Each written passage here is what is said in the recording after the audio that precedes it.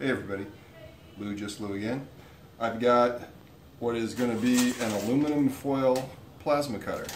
So what we've done is connected four 9 volt batteries in series, so we've got 36 volts, and then connected alligator clips to them.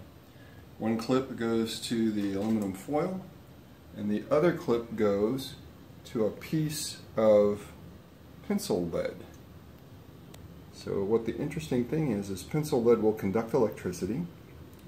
And I've just taken regular pencil lead, broke it, in, broke it into about a third, and connected it to the other end of the 9 volt batteries. And what happens is it concentrates a lot of electricity, 36 volts, in a very tiny spot, and lets me cut right through the aluminum. So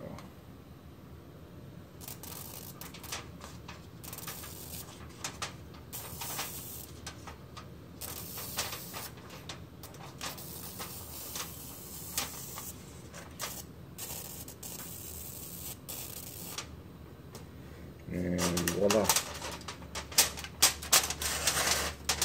Mr. Smiley face. so pretty easy to make and the voltages are very safe. Uh, I would wear eye protection for your safety, but pretty neat. Kind of how a regular plasma cutter works, um, but those will actually shoot a jet of air to, bolt, to blow the molten metal out of the way. So that works pretty well. Thanks.